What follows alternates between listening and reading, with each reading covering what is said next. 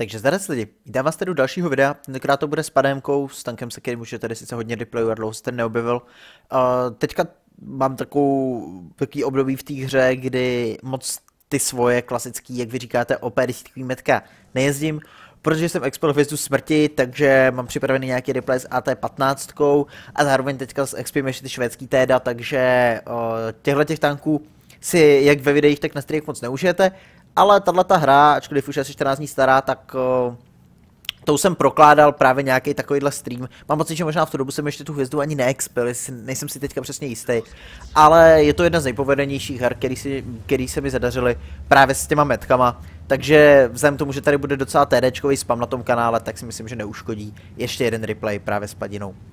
Je to na Runbergu z horší strany, v docela slušným matchmakingu, jenom jedna Artina. Samozřejmě tady ten Runberg obecně prostě je nevybilancovaná mapa, já to nerad hraju z této strany, protože ačkoliv se dostanete tady do této vesničky, tak vždycky máte problém v tom, že uh, tanky jako je tamhle ta 120, ačkoliv 120 není zrovna nejnebezpečnější stroj, který v té pozici může být, ale tanky jako například ta 120 se můžou dostat tady do této pozice a od tam vás pěkně vyprudit. No, uh, já jsem mu dal teda ránu, on tam zajel, jak jsem říkal, 520 není nějaký velký problém, nebo velká hrozba v této pozici. Je to velký krabicoidní tank bez pancíře, takže tam to nás moc netrápí. Ale co nás bude trápit je to, že Nejenom, že jsou tanky tady u té vesnice, ale zároveň budou i na té Ačkové lajně. Takže já, i když tady budu něco dělat, tak mě prostě můžou odsnajpit. K mýmu štěstí tam je jenom jedno TD, což je ta 268, takže to mi trošku pomůže v tom, že i kdybych dostal třeba ránu, nebo prostě se tady zasvítil, tak nedostanu úplně totální rekt, ale rekt jenom trošku za těch 700 páďů. Uh, tady drandí ty lightweighti, to, že jedou pryč, tak naznačuje tu skutečnost, že tady oni nebudou mít asi žádný tanky v té vesnici. Teďka se tady najednou objevil teda jeden Leopard, ale vzhledem k tomu, že oni odjížděli, tak jsem si říkal, že jeden Leopard uh, asi bude většina toho, co tady bude ten nepřátelský tým mít. Protože Beťák je teďka, Beťák je teďka v tom městě, pak už má jenom jedno metko uh, toho Action X, a i kdyby tady byl ten Action X, tak by tady máme víc tanků. No, Uh, my jsme teda začali prohrávat to město, zjišťuju, že 268 není na té Ačkové lajně. Takže za takovýhle podmínek samozřejmě ta uh, vesnička začíná být docela, docela silné, silnou pozicí. Protože právě může mít tyhle ty sniper do města. Vidíte, že to je 476 metrů, takže on, já jsem pro něj za, za jeho render, render distance, takže on mě nemůže spotnout, i kdyby stokrát chtěl. Já jsem si vyžral jednu ránu na toho Laoše, ačkoliv ti naši by ho zabili. No a vidím, že momentálně o, ten tým prohrál samozřejmě celé to město, což se dalo očekávat podle toho, když se podíváte na, na kompozici těch týmů, co se týče tanků. Takže oni měli samý heaviny a my jsme měli spíš metka, s metkama jsme logicky nejeli do města. No, a teďka je rozhodnutí, co dál dělat. To, samozřejmě, když jsme se v 15 rozhodoval, jestli jet na kep nebo jet zpátky, tak se vždycky rozhodnu jet zpátky, protože, o, reference na hlavanku, jestli někdo je pochopil, nejsem úplně dement. Uh, Teď se samozřejmě musím vrátit zpátky. I kdyby tady ty dva to mohli kepovat, tak přijede lightweight, jednoho dva z nich dekepne a potom už budeme mít 3-4 tanky na kepu a je to problém. Na druhou stranu tady, když vidím ještě damage, tak si tu damage dám. O, docela hezká rána, ještě detrek do toho lightweighta. A vidím, že dost z nich se začíná pomalu vracet, takže ještě předtím, než pojedu na ten cap, protože ještě mám čas, tak se zkusím tady zajet za ten strom a vzhledem k tomu, že se nespotnu, uh, bych teda neměl, tak si zkusím dát nějaký free rány. Možná, že zpětně za to už jsem asi zpátky jet měl, ale tak nějak jsem byl natolik zaměřený na tu potenciální damage, že mě to asi napadlo dřív. A no to dodat, že teďka už by to možná bylo trošku overkill zpátky, protože uh, bych v tom byl sám. Teď je co zajímavá situace v té bitvě, kdy ani jeden z těch týmů nekepuje bázi, ke který má přístup. Teda oni už to začali kepovat, ale jak za chvíli uvidíte, tak oni to přejedou a pojedou dál prostě na nás. Což si myslím, že no ve výsledku se jim to vymstí. A tady uh, trošku high roll na lightweight a samozřejmě potřebuji vypnout co nejvíc tanků. No a pak je tady Action X, beťák na ránu, Action X na dvě se štěstím spíš na tři, no a skoro plná T5 ale jak jsem říkal, oni tu bázi nekepujou.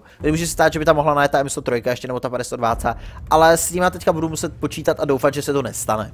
A si tak ti naši mohli kepovat, jo, takže je to taková zvláštní situace.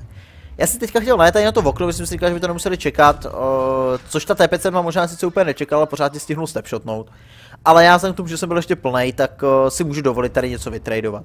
Tenhle ten úhel je moc velký pro něj a já mám ještě se štěstí, že ho zapálím. Takže jsem mu dal nějakých, uh, kolik, 420, 300, mm, řekněme nějakých 900 damage. Bez toho, aniž by mě vrátil ránu a ještě mě tady dal zadarmo tuhletu. Leopard zabil toho beťáka na ránu já se teďka nebojím, tý T57. Já se teďka nebojím a říkám si, že prostě budu ho muset trefit, budu ho muset zabít a prostě jako věřil jsem si na něj. Šťastná rána do toho centa, tady musím říct, to bylo nějak přezeď, úplně divně. Já teda vím, že Cent má lepší DPM než já, ale zkusil jsem na něj sidescript, který mi vyšel. Já teď jsem v pozici, že asi obětuju i nějaký HP, kdyby, kdybych musel jako vytradovat s ním tu damage. Ale ten lož tady dost pomohl. Vypnul jak toho beťáka, tak právě tady toho Centa. Čech, jestli se nepletu, jo, doktora Hej.cz, toho zdravím, jestli se náhodou bude koukat na to video. A IS-7 tady výjíždí, zase já jsem ho chytnul víc v nedbalkách než on mě. Zkouším teďka vybejtit ránu, jestli, jestli mě netrefil ty pásy jakoby z boku do toho sidescrapu. No, uh, my jsme tu bitvu docela otočili, prohráli jsme tuším 4-7, 4-8 a najednou je to 11-11. Bohužel teďka ta 520 zabije toho Leoparda, což on s tím nemohl nic moc dělat. Uh, myslím si, že mu ještě dal i ránu. A teďka já nemůžu tady proti těm tankům bojovat. Sice 520 mám na ránu, ale pořád by mohla přijet nejenom ta IS-7, ale ještě ta M103. A v takovém případě já to nedám, ačkoliv mám těch 12 HPček, tak to je pro mě prostě moc. Takže já se snažím jim ujet a spíš jet za těma výma kámošema do toho města, třeba jim pomoct tím STčkem a podobně. Šťastná rána. No, bylo to štěstí v neštěstí. Šťastná rána na tu 520, protože vyšel tenhle ten snapshot za jízdy. Um, smolná v tom, že padl low roll, padl 352, když šel 378 HP, což by mě hnedka pomohlo, kdyby ten tank byl mrtvý. No, uh, tady vidím, že Bulldog bojuje s tím STčkem, vidím bogvě, že toho STčka, čekám, jestli otočí ještě věž, teďka bylo zbytečný střílet, čekal jsem právě, že otočí věž na toho Bulldoga, že ono mě nevěděl. Uh, takže jsem tu ránu dal a Bulldog za můj, uh, s mojí pomocí právě to STčko vypnul.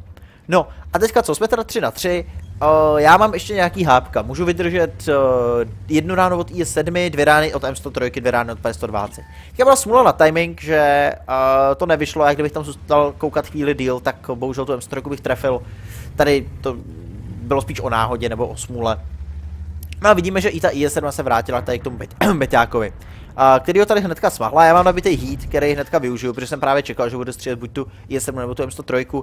A teď zase jsem v pozici, kdy uh, si můžu nechat trefit a díky tomu, že mám nabitý ty heaty, tak jsem ho trefil do toho vrchního plátu. Uh, tady pro ně by bylo trošku štěstí, kdyby byl zatím, uh, zatím nákladákem tam, protože přes ten nákladák ten hit neprojde, ale nakonec jsem tu ránu na něj našel.